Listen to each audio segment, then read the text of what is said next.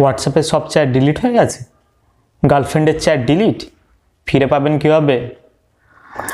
বন্ধুরা, এরকম তো আপনার সাথেও হয়ে থাকে। হোয়াটসঅ্যাপে সমস্ত চ্যাট বা ফটো এবং সমস্ত ডকুমেন্টস হঠাৎ করে ডিলিট হয়ে যায় অনেক অনেক সময় আপনাদের ফোন থেকে। তখন আপনাদের মাথায় চিন্তা আসে, দুদিন আগে যে প্রিয়জনের কাছ থেকে ফটোটা পেয়েছিলাম, সেটা পাবো কীভাবে? তো বন্ধুরা, আজকের ভিডিওতে আমরা দেখে নেব যে হোয়াটসঅ্যাপে চ্যাট ফটো বা সমস্ত ডকুমেন্ট ডিলিট হয়ে যাওয়ার পরেও আমরা কীভাবে সেগুলোকে রিকভার করতে পারি? তো হোয়াটসঅ্যাপের একটা ছোট্ট ট্রিক্স যে ট্রিক্সটা ফলো করলে আপনারাও আপনাদের সমস্ত ডিলিট হয়ে যাওয়া ফটো ভিডিও এবং সমস্ত ডকুমেন্টস ফেরত পেতে পারেন। ভিডিও শুরু করার আগে একটা ছোট্ট রিকোয়েস্ট এই ভিডিওটা যেহেতু আপনাকে অনেক মার খাওয়া থেকে বাঁচিয়ে দেবে, তাই ভিডিওটাকে একটা লাইক করে দেবেন চ্যানেলটাকে পারলে সাবস্ক্রাইব করে দেবেন। তো বন্ধুরা, এর জন্য আপনাদের যে হোয়াটসঅ্যাপ আছে, সেটাকে আপনাদের ওপেন করতে হবে। তো চলুন হোয়াটসঅ্যাপটা আমি ওপেন করে নিই। দেখুন, এখানে আমার একটা কনভারসেশন দেখাচ্ছে। এতে ক্লিক করলাম। দেখুন, এখানে আমার যা সমস্ত চ্যাট আছে, সমস্ত রেকর্ডিংস আছে, দেখাচ্ছে এখানে এই সমস্ত চ্যাট হিস্ট্রিটা আমরা ডিলিট করে দেব। বাইরে বেরোনো এটাতে একটু প্রেস করে থাকলে আমাদের ডিলিটের অপশন চলে আসবে। এখানে ডিলিট অপশন আছে। ডিলিট অপশনটা ট্যাপ করে আমরা ডিলিট করে দেবো। ডিলিট করে দিলাম।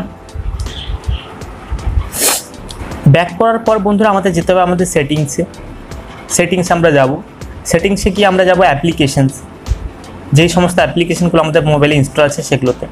অ্যাপ্লিকেশন যাওয়ার পর অ্যাপ্লিকেশন ম্যানেজারে যাব। অ্যাপ্লিকেশনের ম্যানেজার থেকে আমরা খুঁজে নেব আমাদের হোয়াটসঅ্যাপটা দেখুন, আমাদের হোয়াটসঅ্যাপ অ্যাপ্লিকেশন আমরা এখান থেকে খুঁজে নেব। এই হোয়াটসঅ্যাপ অ্যাপ্লিকেশনটা ট্যাপ করে আমাদের সমস্ত ডেটা এখানে ক্লিয়ার করে দিতে হবে। তো এখানে ক্লিয়ার ডেটা করলাম আমরা। ক্লিয়ার ডেটা করার পর দেখুন, এখানে কনফার্মেশন চাইছে ক্লিয়ার করে দেবো। সমস্ত যে হোয়াটসঅ্যাপের ডেটা ছিল, সেগুলো আমার ক্লিয়ার হয়ে গেছে। এবার বন্ধু আবার চলে যাব আমাদের ফাইল ম্যানেজার অ্যাপটিতে ফাইল ম্যানেজার অ্যাপটা যাওয়ার পর আমরা যাব ডিভাইস স্টোরেজে ডিভাইস স্টোরেজে যাওয়ার পর যাব হোয়াটসঅ্যাপ ফোল্ডারটি হোয়াটসঅ্যাপ ফোল্ডারে যাওয়ার পর একটা ডেটাবেস বলে আপনার অপশান দেখতে পাবেন। ডেটাবেসে ট্যাপ করব। ডেটাবেসে ক্লিক করার পর এখানে আপনাদের সামনে একটা ডেট না দেওয়া ফাইল চলে আসবে। সেই ডেট না দেওয়া ফাইলটাকে আপনাদের ট্যাপ করে রিনেম করতে হবে। ফাইলটা রিনেম করার জন্য আমাদের মোড়ে যেতে হবে। মোড়ে যাওয়ার পর রিনেম করতে হবে।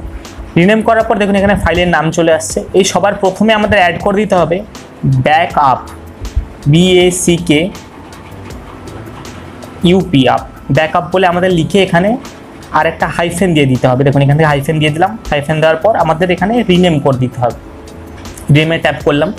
রিনেমে ট্যাপ করে দেখুন এটা কিন্তু ব্যাকআপ হয়ে গেল। এবার আমরা ব্যাক করে দেবো এটাকে। সম্পূর্ণ ব্যাক করার পর আবার হোয়াটসঅ্যাপটা খুলবো।